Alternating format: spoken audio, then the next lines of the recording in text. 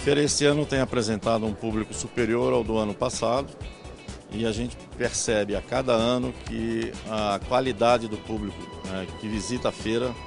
é realmente do setor de material de construção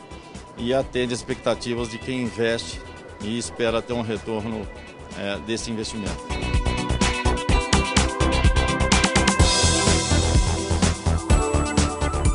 O Brasil hoje é o segundo produtor mundial de cerâmica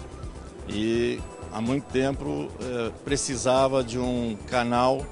representativo para apresentar esses produtos.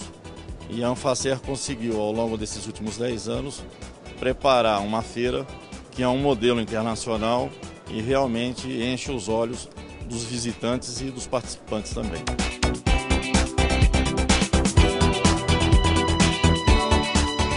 A expectativa da Pointer esse ano é que a marca é, seja reconhecida nacionalmente, já que nós estamos partindo a fábrica em Alagoas esse mês e esperamos que o investimento feito aqui na feira